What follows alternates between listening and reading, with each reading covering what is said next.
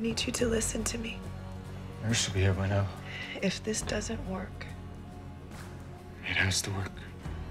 it's the second clinical trial we've tried. We're at the end of this. I'm not gonna be okay. I've seen people bounce back from far worse than this. It is likely that you're gonna be doing this alone soon, so I need you to listen. No. I'm not. Make sure the boys know it's okay to cry, to feel it, to feel everything. I don't want them locking this up and letting it eat away at them. Don't be strong. Be a mess. Let them know that it's okay to fall apart. Please don't do this. And promise me that you're gonna let the boys see my sister.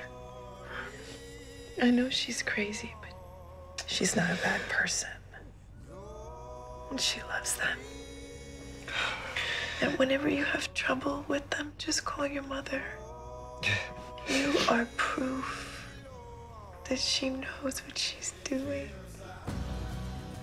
And it's okay if Austin quits piano. I told him that he'll get better if he keeps practicing, but I think it's hopeless.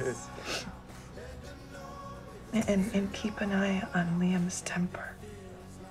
Because I think he gets it from me. And we've both seen the mess that can cause. And it's okay for you to fall in love again. You have my permission. I don't want that. Which is why you need to hear me say that it is okay. You don't need to beat yourself up or feel guilty.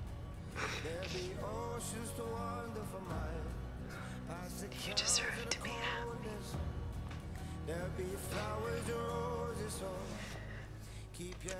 Bright side, you won't have to work for it. Sexy widower, surgeon, single dad. You'll be batting them away.